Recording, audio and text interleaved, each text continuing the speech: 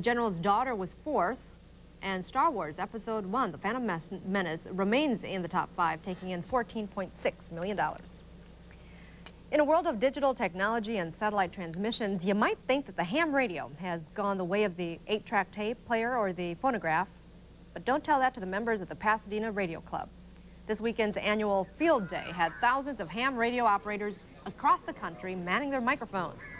The amateur radio operators first had to set up temporary field locations, then competed with one another to see who could make the highest number of contacts during a 24-hour period. Whiskey 6 Kilo Alpha W6KA. CQ Field Day, CQ Field Day. Whiskey 6 Kilo Alpha W6KA.